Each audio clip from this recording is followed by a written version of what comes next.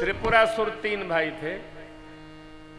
बोले, बाबा से बर पा लिए, हम लोग मरेंगे नहीं। बोले, संभव नहीं कुछ और मांगो। ब्रह्मा जी ने जिसको बनाया है, जन्म दिया है, उसको मरने का व्यवहार पहले लिख दिया है। तो क्या मांगे?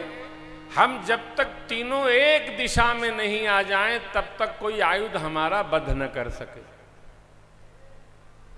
एक रहता था आग्नेय कोण में, दूसरा रहता था वायव्य कोण में, तीसरा रहता था ईशान में। तीनों आएँगे नहीं सामने तो मरेंगे कैसे? तीनों मिलते ही नहीं थे।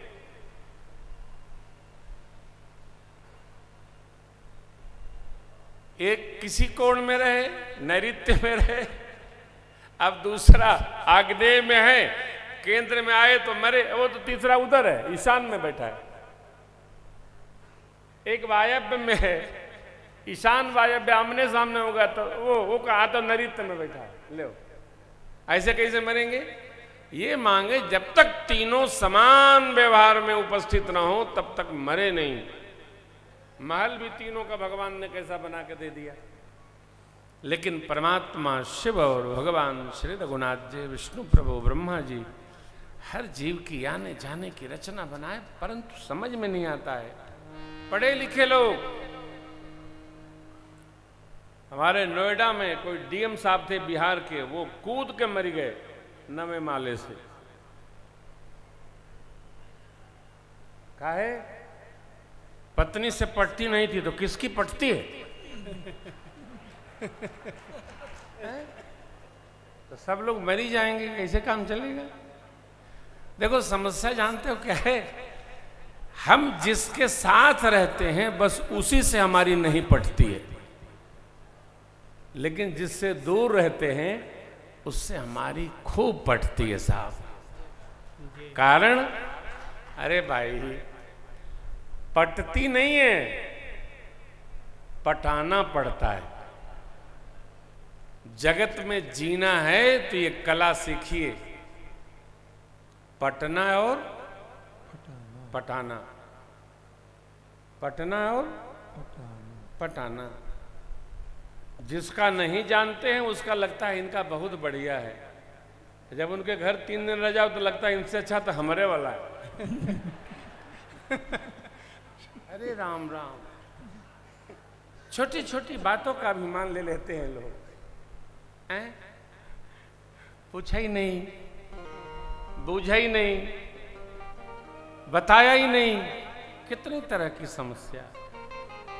अब आप दर्शन करो, सती जी ने योगाग्नि में बदन को क्यों प्रवेश कराया? अन्यथा कारण नहीं।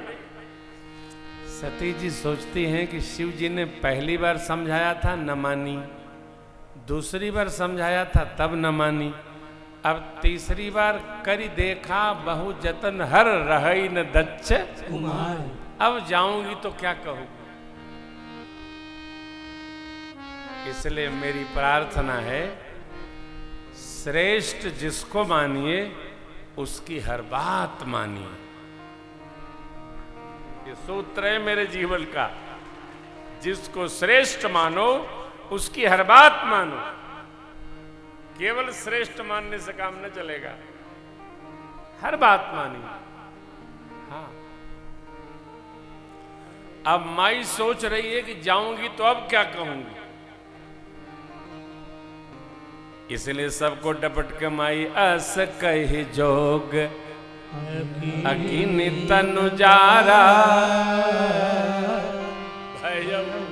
सकल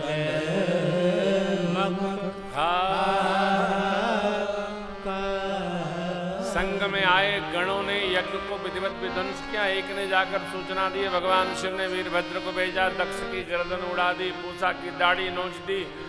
बेगो जी महाराज, जय जय। स्तोत्र पाठ करके शांत कराए। पितामह, ब्रह्मा, विष्णु, शिव जी को बुलाए हैं। दक्ष प्रजापति के सिर पर बकरे का गर्दन लगाया गया। खैर, यज्ञ संपन्न हुआ। बोले यज्ञ नारायण भगवान की।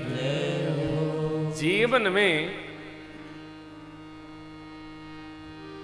संस्कार के लिए, कल्याण के लिए, मंगल महोत्सव के लिए अनुष्ठान करना चाहिए, आदर के लिए करना चाहिए, किसी के निरादर के लिए कदाप नहीं।